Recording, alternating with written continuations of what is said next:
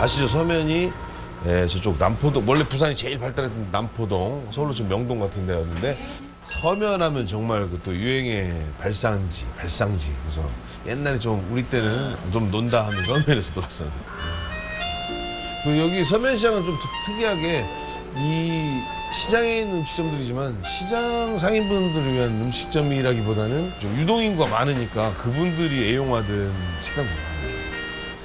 어우 냄새 좋은데요?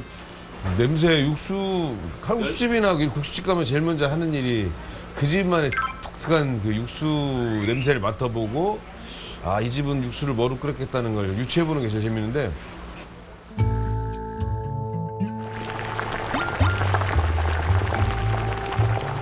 지금 아침 컨디션이 좋아서 음, 거의 뭐 다 들어오는데요.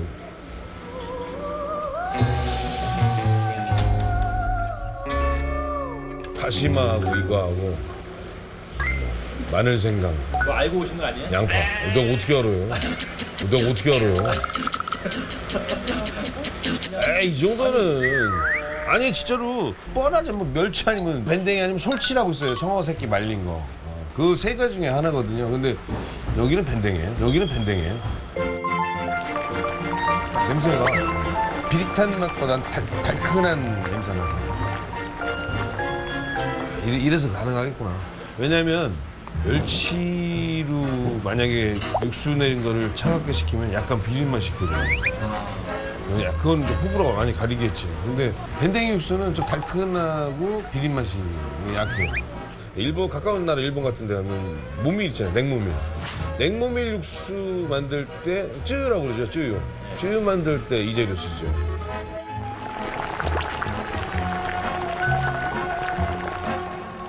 식초, 고춧가루, 양념 양념장이 왜 있지? 아 나왔습니까? 오 비주얼 특이하네. 오 비주얼 특이하네.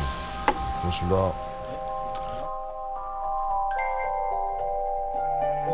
시즌에만 먹을 수 있는 거. 우리 또 그 특이하게 한정 판매 되게 좋아하죠. 잘 먹겠습니다. 여기 깍두기를 주나요? 칼국수 집인데? 예. 왜요? 왜요? 왜요? 아, 그거 주인 마음이지. 아, 아, 참 무식한 질문이네. 왜요라고 내가 왜 물어봤지? 어, 당황, 내가 당황스럽다.